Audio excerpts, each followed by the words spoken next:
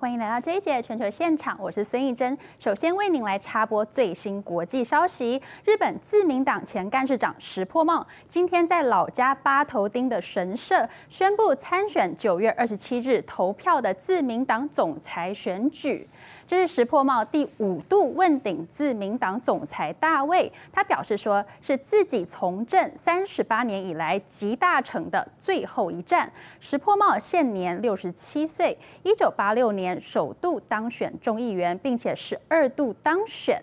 他在二零零八年的时候呢，首度参选自民党总裁，至今四次都遭到挫败。尽管他在民间的声望高，但是党内人员欠佳是致命伤。而石破茂最近来台访问期间，刚好碰到现任首相岸田文雄宣布不再参选竞选总裁，石破茂当时就表达要参选意愿。好，那么我们现在看到了大陆外交部今天也宣布，应应中共中央外事办主任王毅的邀请，美国国安顾问苏利文将于八月二十七号到二十九号访问中国大陆，举行新一轮的中美战略沟通。美国白宫在稍早宣布的时候提到，苏利文前往大陆访问，将与王将与王毅讨论包括南海与台湾问题。我们一起来听。I think Jake will also talk to. Uh, uh, to uh, Minister Wong about things, obviously that you know we're still uh, we're still struggling with in terms of this relationship with China. Chinese companies support uh, Russia's war in Ukraine. Um, tensions in the South China Sea, certainly with the Philippines, tensions across the Taiwan Strait, all of that will come up as well. Um, but as for whether this lays the tracks for an, another meeting with President Xi, I just I just don't have anything specific to point to 好的，那么大陆外交部的声明指出，苏利文是应应王毅邀请访问，这将是二零一六年以来首位访问大陆的白宫安国安顾问。美国媒体报道也指出，苏利文下周访问大陆是为了习近平与拜登今年稍晚可能举行的最后一次会晤所做的准准备哦。而这次的会晤的时间点可能会是十一月的美国总统大选之后，两位领袖出席在巴西举行的 G 二十领导人峰会，习拜可能会利用这个机会举行峰会。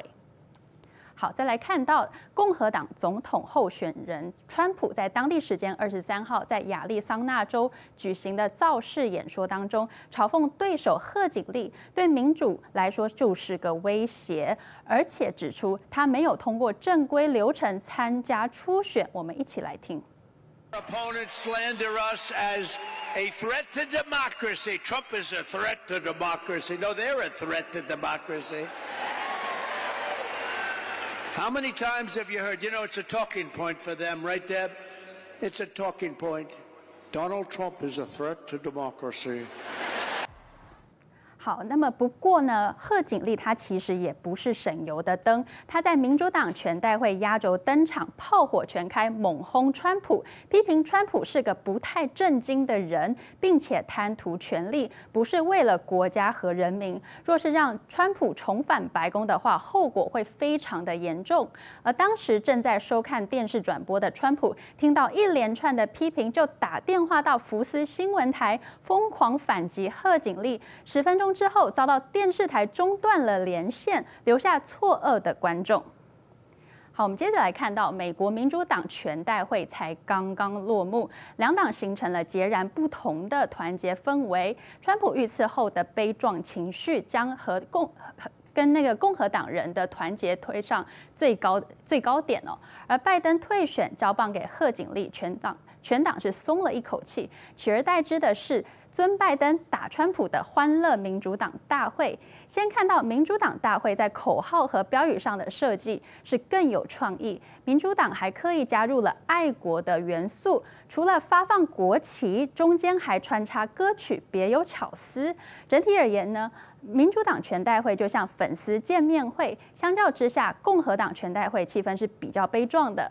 呃，川普是展现出尽管遇刺，依旧带伤站在台上，团结了共和党的气势，充分展现美国英雄形象的精神。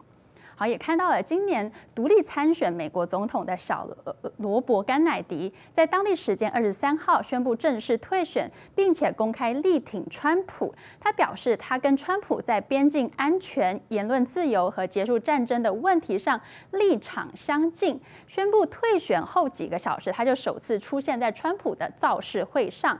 他的行为也被甘乃迪家族批评为叛徒。此外，川普也承诺，若是当选，要成立一个独立总统暗杀委员会，要公布与甘乃迪遇刺案有关的文件。另外，小甘乃迪也曾向美国人民承诺，若是自己成为大选的搅局者，他就会退选。他如今只不过是履行了自己的承诺。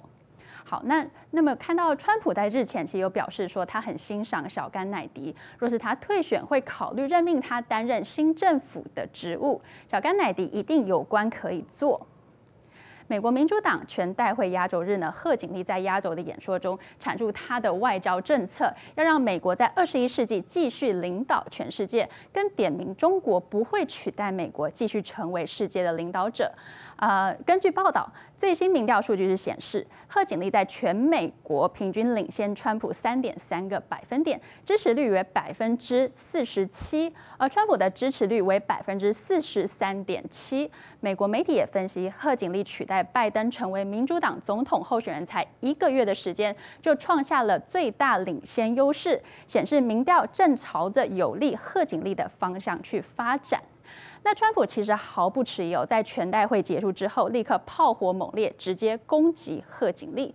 川普与贺锦丽在首场电视辩论的日期也正式的敲定了，将在九月十号晚上九点，在费城国家宪法中心举行。两人已经承诺出席了，到时候由美国电视台 ABC News 举办这场总统的辩论会。好，那么来看到。曾家曾曾经以独立参选人投入美国总统大选的小罗伯甘乃迪宣布退选，并且就在同一天为川普站台，呼吁选民要支持川普重返白宫。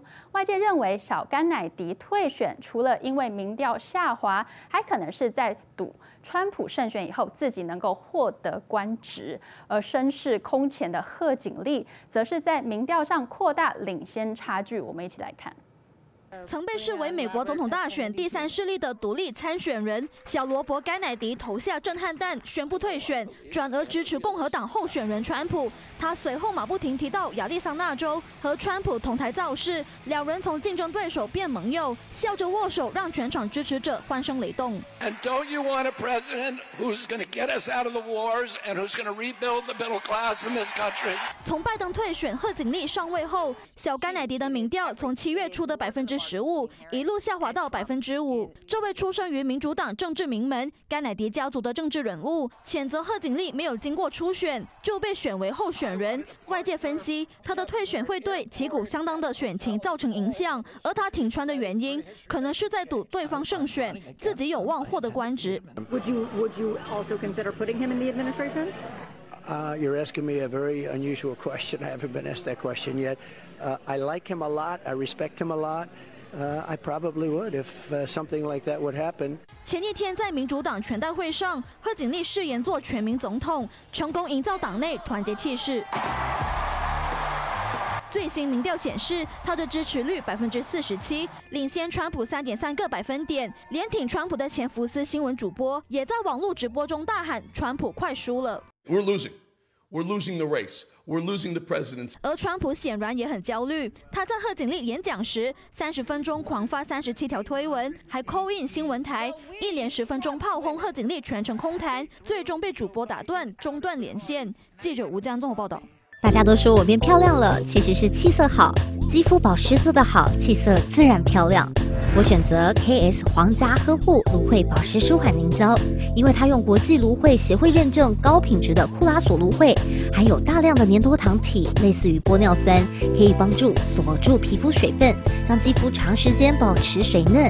还运用 TTS 技术，增强芦荟的生物活性，修护舒缓日晒后的各种不适。